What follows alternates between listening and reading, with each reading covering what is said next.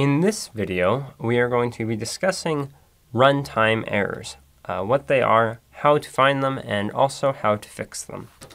A runtime error is similar to a logic error in that all code is syntactically correct, but we experience an error when the program is actually running.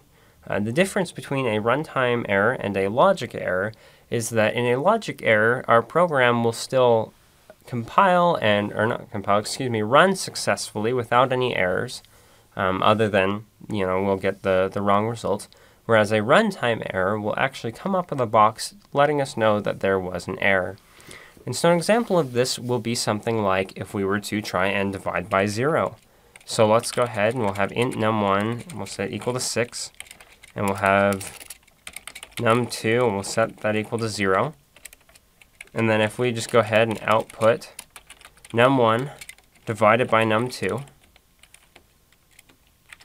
an end line at the end.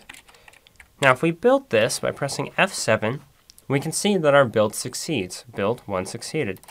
And we go to our error list, we have zero errors and zero warnings. But upon actually running this, we get this. Console application 2.exe has stopped working. A problem caused the program to stop working correctly. Windows will close the program and notify you if a solution is available. Not super helpful to us, but we'll click close program and it says press any key to continue, meaning we've hit the end of our program. It's, it's ready to be terminated. And so that was our first experience with a runtime error. We get that that box of it stopped working, we can just click cancel and get out of there because we know that it's all done. That whether we've hit a runtime error, nothing else good is going to happen. And so fixing this is the same as fixing a logic error in that we, it requires us to just look through the code and find out exactly where this took place. And so one way of doing this is we can actually put a cout statement right here saying above the division, and one after saying after the division. And then if we run this, then we can see above the division actually happened. But then the next line did not. So that lets us know that the problem takes place directly after above the division. And so we can see here that must be this line that's causing the problem. We can look, we can see 6 divided by, oh, we're dividing by 0. That's our problem. Let's divide by 6. And then we go ahead and run it, and we'll output 1. And now we know that it has worked, and we have fixed our runtime error successfully.